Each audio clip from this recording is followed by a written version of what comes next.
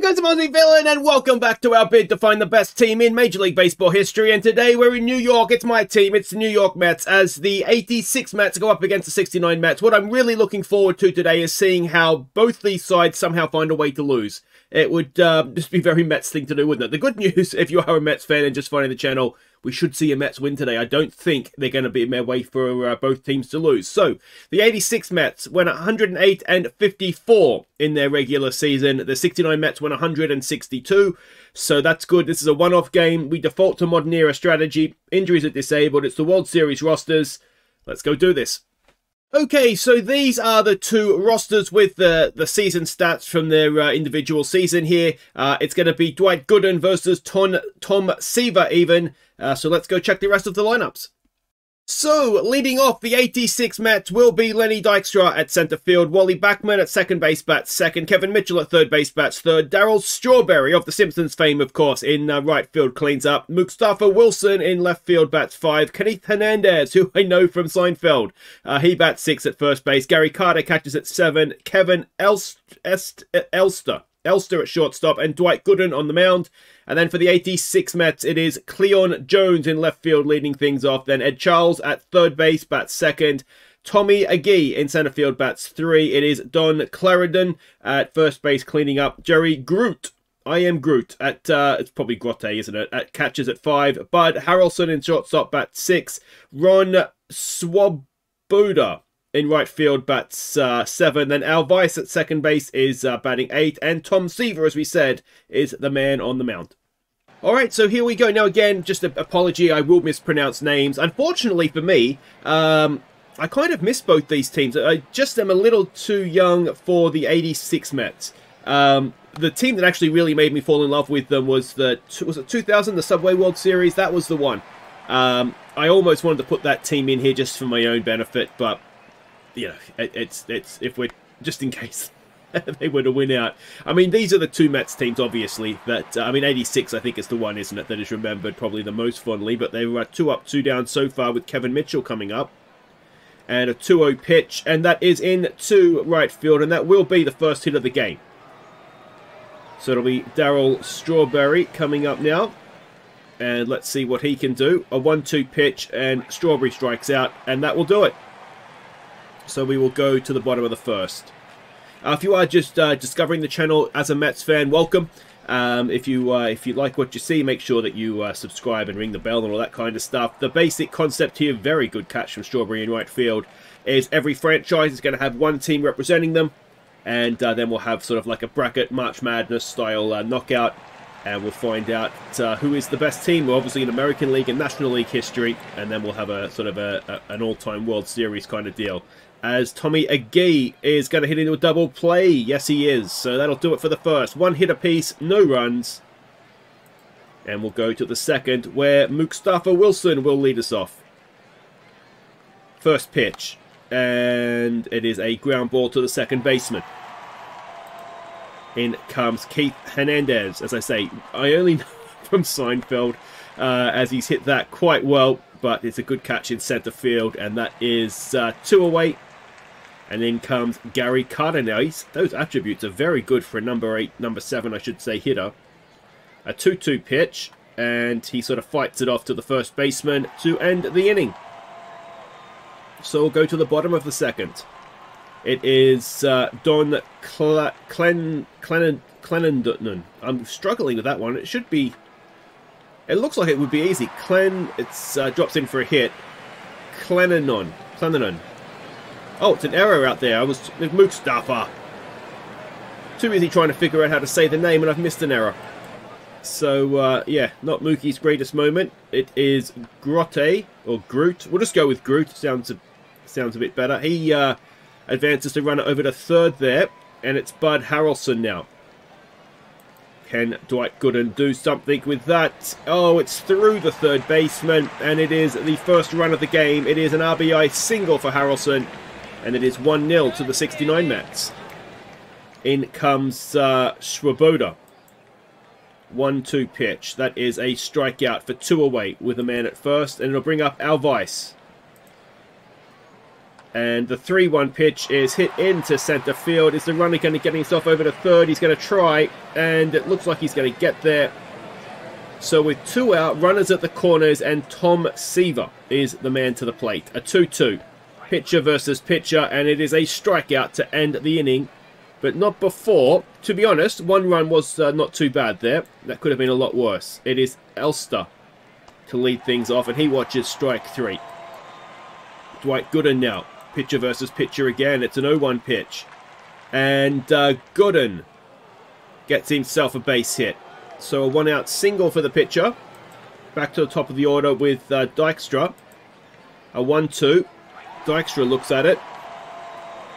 And that is two down, and it is Backman who is uh, 0 for 1 today. It's an 0-2 pitch, and he has got that through. So it's going to be a two-out single. Gooden is going to try for third. Gooden is going to get there, I think. Yes, Backman gets himself over to second. And so Kevin Mitchell suddenly, two on, two out, with a chance to uh, at least tie the game here, and he's popped it up. And that'll do it for the top of the third. The 69 Mets still lead by the single run. And it'll be Clennon Jones to lead things off against Gooden. It is a 3-0. And it is a lead-off walk. Ed Charles. I find this funny because often uh, if I'm playing uh, like a, a, franchise game off camera, I will choose the Mets because they are my team. So I know like and Gooden and, and Seaver, I both I recognise both of them from just uh, all the pitching all the pitching categories and all time records and that where they are. So um, yeah, it's nice to see them both in uh, in action. Though I've got to say, I didn't realise that uh, that Seaver's they stolen third. So runners at uh, second and third with one away for oh, this guy again, Clennon. He strikes out. And uh, let's see what Groot can do. Big, big uh, at bat this one. It's a ground ball to the shortstop, over to first. And again, you've got to say the 86 Mets, they're dodging a few bullets here, aren't they? It could be a lot worse than 1-0 for them. And Darryl Strawberry will lead off the inning against Seaver. And rain is beginning to fall. A 1-1 pitch. I wish there was a way to take weather off, actually. Uh, I feel like that's sort of a, a, a variable that we don't really need. Uh, Mustafa Wilson, or Mookie Wilson if you want to go by his uh, short name. And that is going to drop in for a one-out single. So going some way towards making up for that error. And Keith Hernandez will come to the plate. Now he is 0 for 1. It's a 2-1. Hernandez, is that going to get through just about? And we're going to have runners at first and second with one away. And it is Gary Carter. 0-2 pitch and he strikes out. So that is 2 on, 2 out now. And they pinch hit uh, so Mazzilli is going to come into the game. A 1-1 pitch. And Mazzilli, has he done it? It's going very, very deep into left field and it's over the fence. And what a pinch hit that is. Mazzilli with a three-run home run, 370 feet, and the 86 Mets jump out to a 3-1 lead. Dwight Gooden now one for one he is, of course. First pitch. Gooden grounds it to the second baseman. That'll do it for the top of the fourth. But the 86 Mets have taken a lead. Now, does uh, he stay in the game? No. So Santana has come in. And, um, well, that's not a bad impact to make, is it? Harrelson leads off the inning. That is popped up into centre field. And that'll be one away. In now will come uh, Sawoba. I feel like I'm rain's become pretty heavy. We've got a rain delay, rain delay, rain delay, rain delay. I wish I could just turn this off. And uh, an hour and a bit later, we'll come back for a 3-1 pitch. And that is through, is it? No, shortstop gets there for two away. And our Vice now. One for one he is today. A 3-1 pitch. Two out, no one on. And that will be the end of that. So we go to the fifth. I've always wondered, uh, and I don't know if the game codes for it all, but if you were gone for an hour, like, you know, you're off for an hour, the starting pitchers, I mean, they've essentially, they've cooled down at that point, haven't they? So I, I wonder if, um, if actually, if this was sort of a real-life game, I mean, not that it would be a real-life game with these teams playing, but you'd have to take the starting pitcher off, wouldn't you? Or, or are they able to sort of warm up and go again? I guess it probably depends on the guy, doesn't it? As that is into right field. It should be caught. It does. And uh, that'll end the top of the fifth.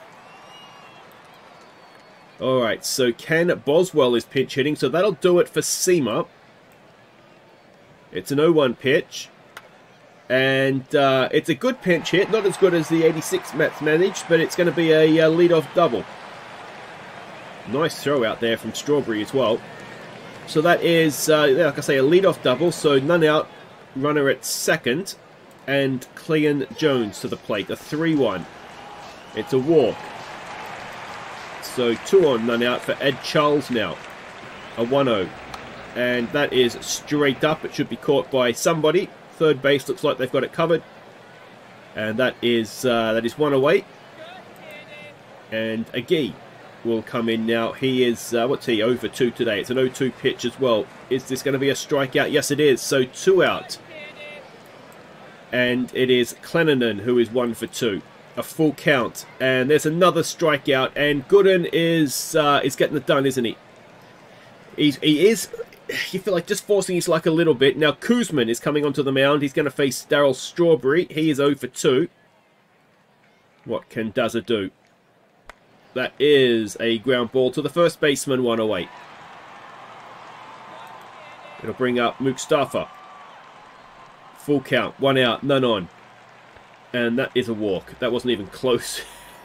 it looked, uh, it's the sort of pitch you probably dream about, isn't it, on a full count? Just don't let it be close. Just You just, you either want it to be straight down the middle so you so you know well, an obvious strike so you know you've got a swing or you just want it a mile away so you know you don't have to it's the close ones that are the they're the killers, aren't they? Carter, what's he? He's over 2, a 1-1. And that gets away, but not far enough. So everybody will stay where they are, and it'll be a 2-2 pitch. And that is a strikeout to end at the top of the sixth. So it is still 3-1 to the 86 Mets.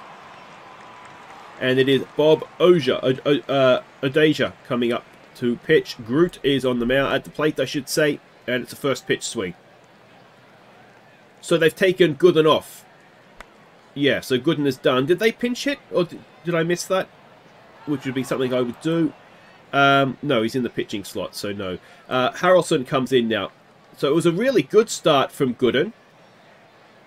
Can the bullpen go on with it now? It's weird. One thing I've noticed, sort of, as I've played through here, is the older teams, uh, up sort of on average, they tend to have the really good starters. Uh, I'd say a, a fairly sizable starting pitcher advantage over the more modern teams, but the bullpens of the old teams, and probably because how many times you see complete game shutouts and whatnot back in the day, the old bullpens are rubbish, whereas the more modern bullpens are much, much stronger, as uh, that should be out at first to end at the bottom of the sixth. So I think I think these teams are probably both on the precipice of either either side of it, where where things start to start to make the the shift over as that is going to be a lead-off single for Santana. And I think that was his first at bat in the game, wasn't it? Because he came in for the pinch hitter last time. So we've got another pinch hitter now, Tim Teufel. One on, none out, and that is into left field, and it might even get its way to the wall. Now, I don't think it's going to score a runner from first.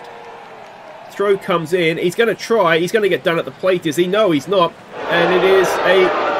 Probably scored a double. And he scored a double for Teufel, but he's found himself at third. It's an RBI double.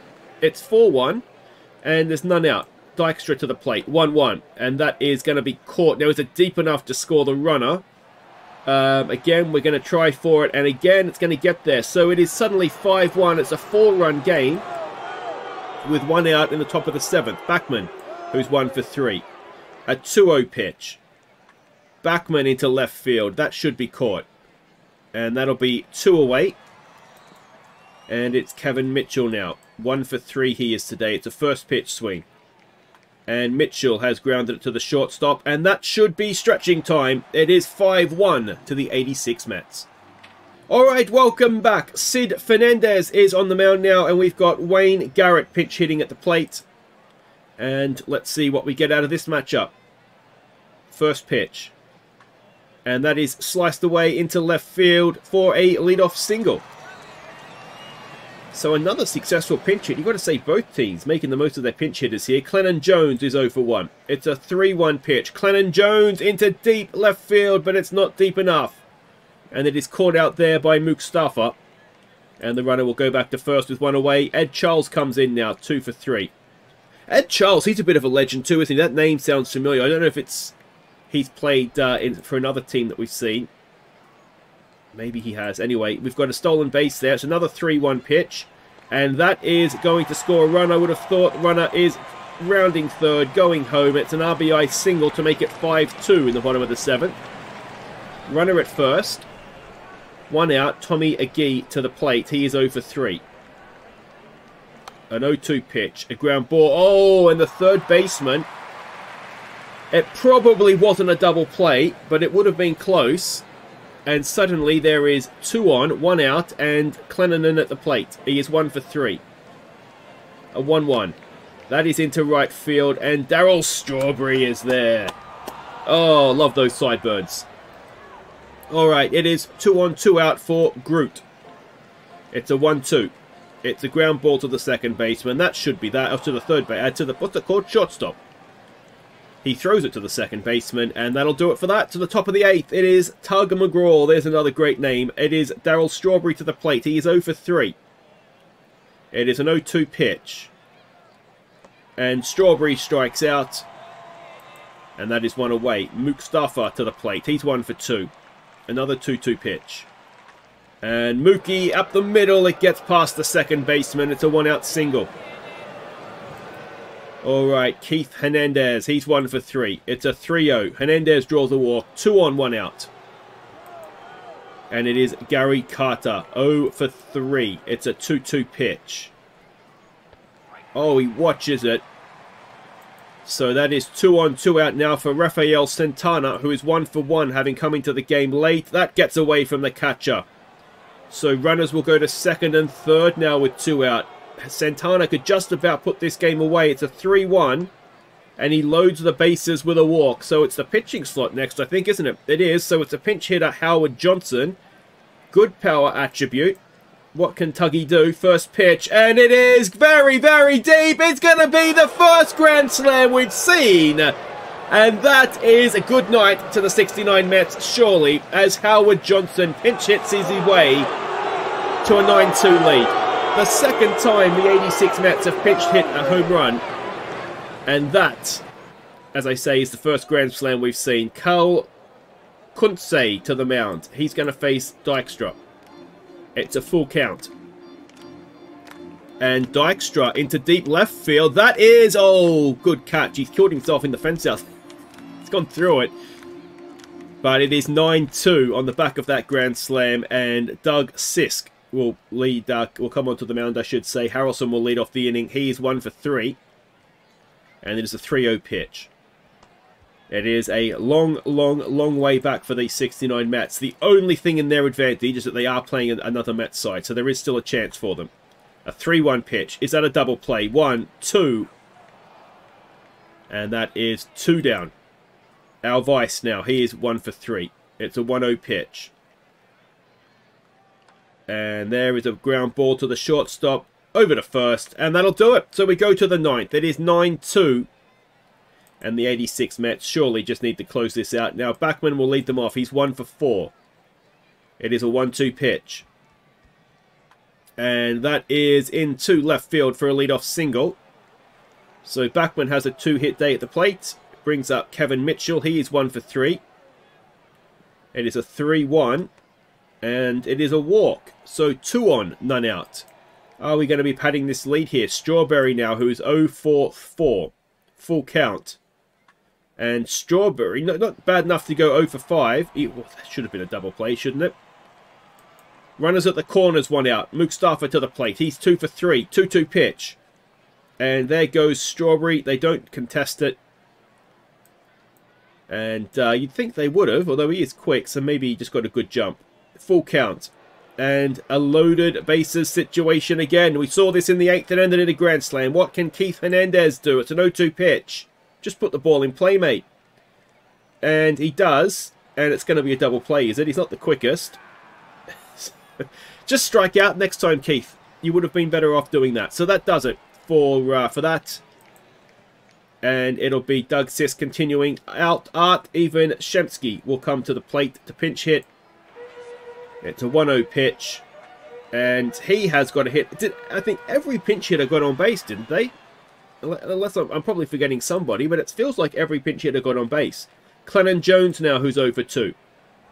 It's a 1-1. That's up the middle. Into centre field, and that'll be a single. Runner will stay at second. Seven runs is a long way back. Ed Charles, three for four. What a day he's had. A 2-1 pitch, and Charles, that could be a double play that essentially ends the game. Two out, runner at third. And it is Tommy Agee, 0 for 4. Is this the end of the 69 Mets? A first pitch swing. Agee grounds it to Santana at shortstop, and that'll do it. The 86 Mets will advance to represent the franchise. So really, it was, I mean, it was two hits, wasn't it? A grand slam, a three-run home run, and that was the difference between the two teams. So maybe the scoreline flatters the 86 Mets a tad, but uh, they looked very, very good. Let's hope for my sake and all our Mets fans out there that they go deep into this competition. We can see everybody else that has so far qualified. And next up, it is the, I, I forget who's up next, Philadelphia Phillies. I can't actually see what's behind me on the screen just now. I think it's the Phillies up next. Uh, so join me for that one. And uh, yeah, if you uh, if you haven't yet, make sure you like the video, subscribe if you are new, and I'll see you next time. Take care.